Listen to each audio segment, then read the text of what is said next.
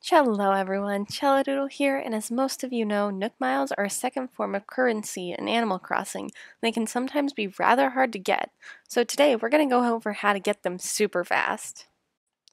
Nook Miles can buy a variety of items, which include pathing and tools for construction, reactions, hairstyles, and some furniture and clothing items, and Nook Miles tickets.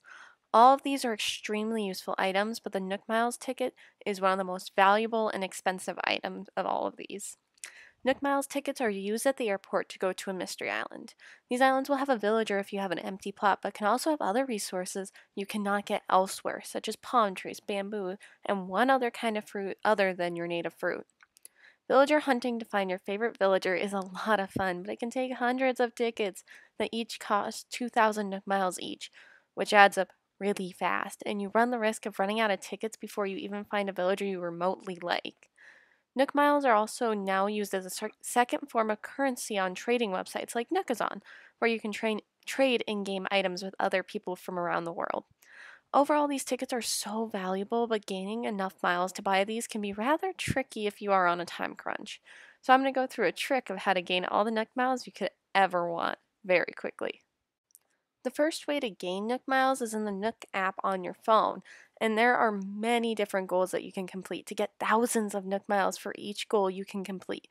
Some are easy, such as finding a certain number of fish, saying hi to villagers every day, going to a villager's birthday party. Most of these goals have multiple levels of difficulty, and as you complete them, the next goal gets harder, but you can also get a lot more miles.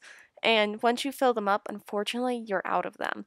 So once you complete all the goals, you'll have thousands of miles, but then there's no other way to get them through that, except there is the goals after you buy your first house. So after you have that first house, you get access to Nook Miles Plus. And this is great because it gives you small amounts of miles for really tiny goals such as hitting rocks every day, catching a fish, catching a bug. But it works out really, really well because it gives you a little bit of miles, but it refreshes every time you complete one of those goals. So this is one of the fastest ways to get it because you can just grind for a little bit to get some of these miles. Another way that you can get some miles is when you go visit a friend's island. When you come back, you'll get a couple miles, which are really nice because then you just get some extra and works out great. Also, in resident services, where you can spend all the Nook miles you can gain, you can also get more.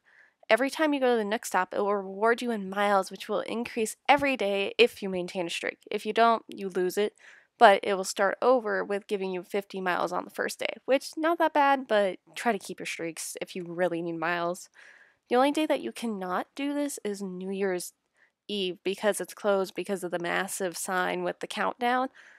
But here's the thing the day they come back, they give you quite a few nice miles for not being able to visit yesterday.